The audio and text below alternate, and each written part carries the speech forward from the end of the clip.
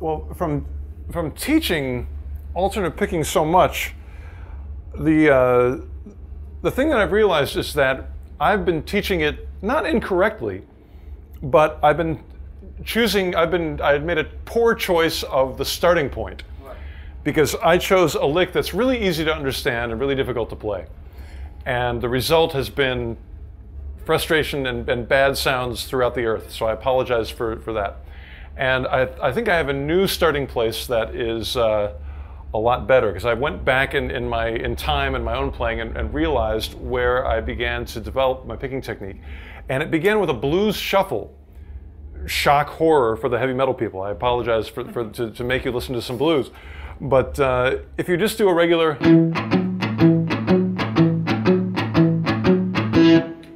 that is the core technique of everything because you have to go between two strings.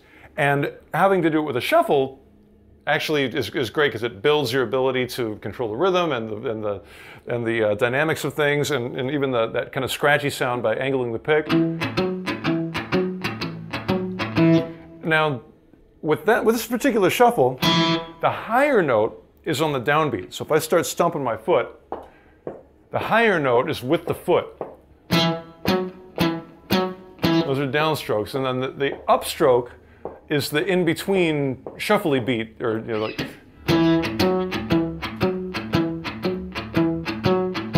So that's one way to do it.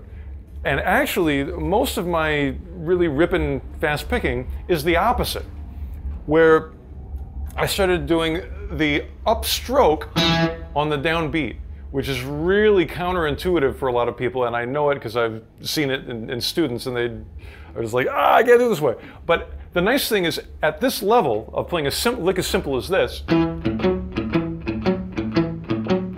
it's not that bad. Because really all you're doing is, you know, that, but you're flipping it around where I mean, I don't know if you can hear it. I've got the time in my head and I didn't demonstrate it to, to you. So if, if you if you do it one way, like, I'm not shuffling anymore, I'm just demonstrating the picking technique.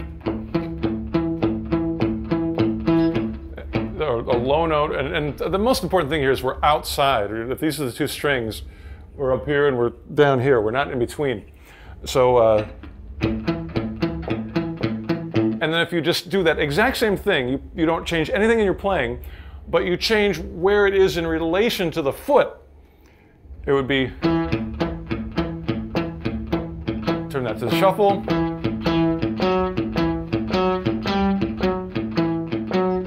So in theory, that should be a technique that, that everybody can do easily. It's just a matter of being able to relate it to the rhythm in a different way and to do it enough where you can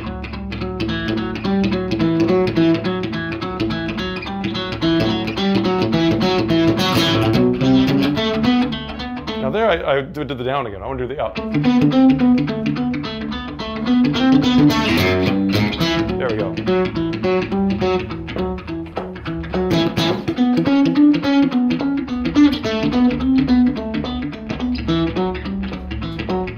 Up, up, up, up, up. All those ups are on, are on the downbeat. That's the core of everything.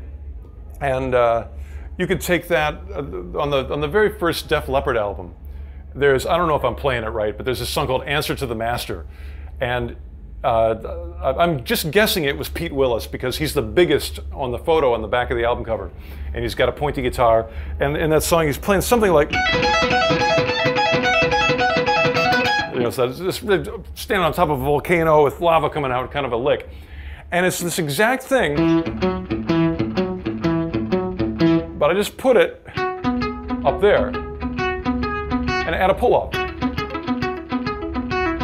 Then up an octave.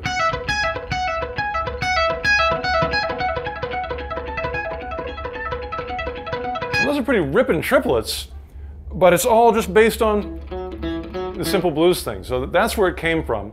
And I really recommend that, anybody who wants to pick fast start there. It's, it's, uh, it's, it's almost, well, I've, I've seen it demonstrated with, with human beings so much time. It's futile to start with. Uh,